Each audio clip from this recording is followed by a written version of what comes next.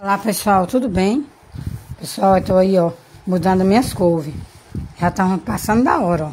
Gente, dois canteiros aí que eu vou colocar pra mudar as couves, coisa mais linda. Que elas estão, estão crocantes, sabe? Aí, ó, já tô colocando aí.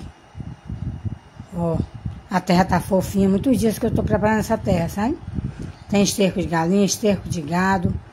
Tem folhas, né? Que elas se decompõem e fica um, um esterco muito bom. E aí, ó. Gente, vocês estão gostando dos meus vídeos, meus amores? Falem aí, comentem. Coloquem um glória a Deus, coloquem um boa tarde, um bom dia. Olha os matos que eu tirei folha de couve, joguei para as galinhas. Aí, gente, ó. Vou molhar aí, ó. Molhando, ainda tem mudinhas ainda, sobrou mudinhas. Olha aí, molhando as mudinhas que eu mudei. Tão bonitas. As formigas estavam cortando, gente, também. Aí eu coloquei barragem nas outras que sobrou, né?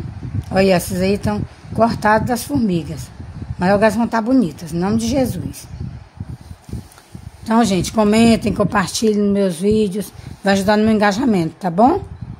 Jesus abençoe vocês. Aí meu canteiro de tomate, gente, não tá prestando, vou ter que arrancar tudo. Aí são mudinhas de cebola, aquela grande, e de pimenta. Olha o pepino. Aí molhei mais as mudinhas, gente, ó. Estão muito lindas. Cheiro grande. Fiquem com Deus.